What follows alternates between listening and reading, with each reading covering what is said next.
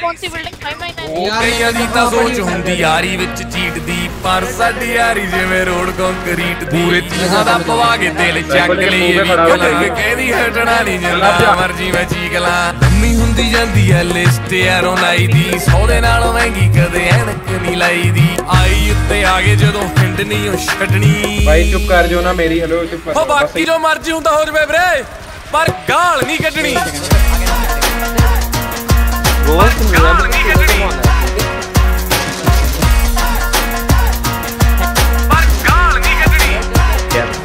ਉਹ ਕੰਮ ਹੋਵੇ ਨਾ ਹੋਵੇ ਰੋਜ਼ ਗੇੜੇ ਹੁੰਦੇ ਸ਼ਹਿਰ ਦੇ। ਸਾਰਾ ਦਿਨ ਵਾਲਾਂ ਵਿੱਚ ਹੱਥ ਰਹਿੰਦੇ ਫੇਰਦੇ। ਕਈ ਨੇ ਸ਼ਰਾਬੀ ਕਈ ਯਾਰ ਜਿੰਮ ਵਾਲਿਆ। ਕਈ ਨੇ ਸ਼ਰੀਫ ਕਈ ਬਾਲੀ ਮੇਰੇ ਸਾਲਿਆ।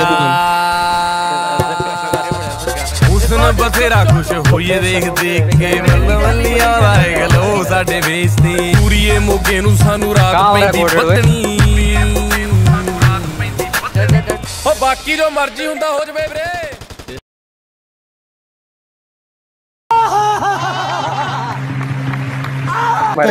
ਗਾਲ ਨਹੀਂ ਕੱਢਣੀ।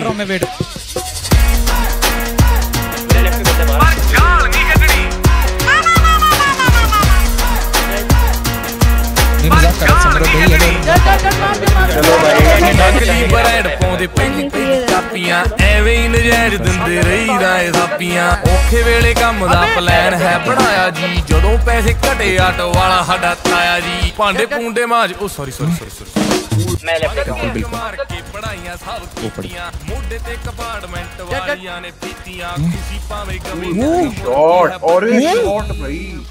वो भाई कहाँ से पकड़ रहे हैं बहुत आड़ बहुत आड़ गाल